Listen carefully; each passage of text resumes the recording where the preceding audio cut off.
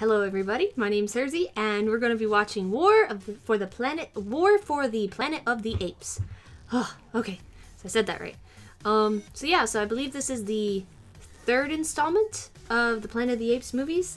Um, so if I remember right, it is Rise of the Planet of the Apes, Dawn of the Planet of the Apes, and now it's War of the Planet of the Apes. I think I have those in the right order. So let's just go ahead and watch.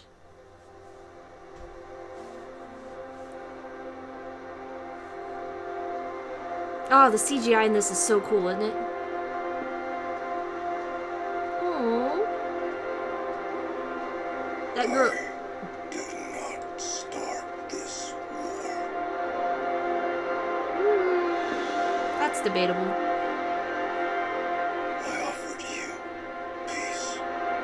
That he did do. I showed you mercy.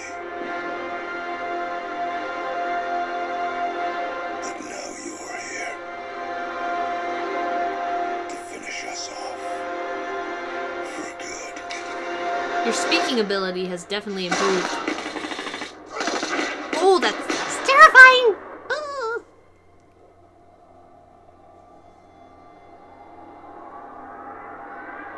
Oh, just look at that! Like,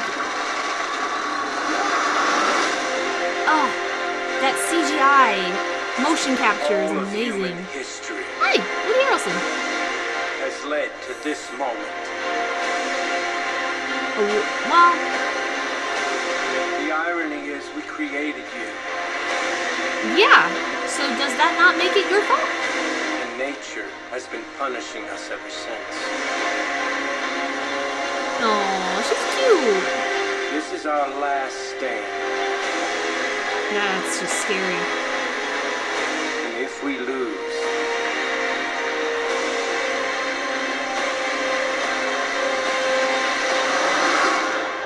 it will be a planet of apes. We all know where this is heading. Yeah, it's kind of like the the sad thing of it is that you know that that that's it's eventually like it's just gonna be the apes. Because if you've seen the original Planet of the Apes, humans don't win. We don't. I like the Planet of the Apes movies. Um, I just hope that it has a nice conclusion. I don't. I, I obviously I don't want it to drag on. I want them to be a nice a nice finished project. Just the CGI. I would. I just like to see Planet of the Apes simply for the motion capture because Andy Serkis, who plays Caesar, is amazing. Andy Serkis is basically the king of motion capture. Almost everything that has motion capture, he has either been in or has had like some hand in assisting. So he's amazing. So uh, I can't wait for that. That's gonna be that's gonna be good. Definitely be seeing that.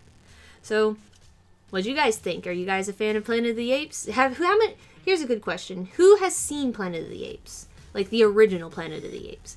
I remember watching it with my dad, um, right after I saw Dawn of the Planet of the Apes. We went home and we watched the first one, the original, after that. So, and it was cool because we kind of like got to see like all the little, um, what you call it, uh, Easter eggs. So that was nice. So yeah. So have you guys seen it? So that's my question. Who here has seen Planet of the Apes? Raise your hand. If you can raise both hands in the comments. so thank you guys so much for watching. If you liked what you saw, don't forget to like, comment, or subscribe and share with your friends. And as always, guys, I will see you in the next video. So, bye. Bye.